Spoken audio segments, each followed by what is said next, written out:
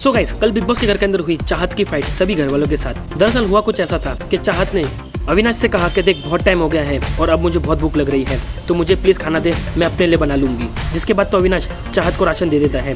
जिसके बाद चाहत गैस चालू करके अपने लिए खाना बनाने लग जाती है। फिर ये सारी चीज़ें रजत देखकर सबको कहता है कि मैं उससे लड़ना नहीं चाहता। तो प्लीज़ जाकर उसको बोलो कि गैस ना चालू करे। फिर वहाँ पर सभी घर वाले आ जाते हैं और फिर चुम कहती है कि नहीं, गैस तो चालू नहीं होगी और कोई खाना नहीं खाएगा। फिर चाहत भी कहती है कि मुझे भूख लग रही है तो मैं अपने लिए खाना ज़रूर बनाऊँगी। और बस इसी बात को लेकर चुम और चाहत दोनों के बीच में काफ़ी आर्गुमेंट हो जाती है। और फिर चुम गैस बंद करके उसके बर्तनों को अपने हाथ में ले लेती है, जिसके बाद तो चाहत रोने लग जाती है और चुम के साथ फाइट करती है। और फिर गैस के बर्तनों को लेकर काफ़ी लड़ाई होती है। दोनों एक दूसरे के साथ फ़िज़िकल भी होते हैं, जिस पर फिर चाहत काफ़ी रोने लग जाती है और ज़ोर ज़ोर से चिल्लाने लग जाती है। तो दूसरी ओर, रजत भी गैस के बर्नर को लेकर उसको छुपा देता है। यहाँ पर चुम चाहत को काफ़ी टफ फाइट देती है, मगर चाहत इतनी बुरी तरीके से चिल्ला रही थी, आखिरकार चुम को इस फाइट से उतरना ही पड़ा और उसने फिर लास्ट में बर्तन दे दिए।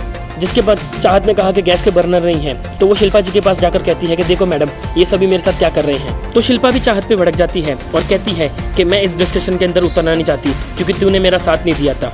तो शिल्पा और चाहत इन दोनों के बीच में भी काफ़ी आर्गुमेंट होती है और फिर लास्ट में रजत भी चाहत से फेडअप हो जाता है और वो भी गैस के बर्नर चाहत को लाकर दे देता है। गैस यहाँ पर चाहत गलत नहीं थी, मगर जो एक्टिंग वो घर के अंदर कर रही थी, वो काफ़ी गलत थी।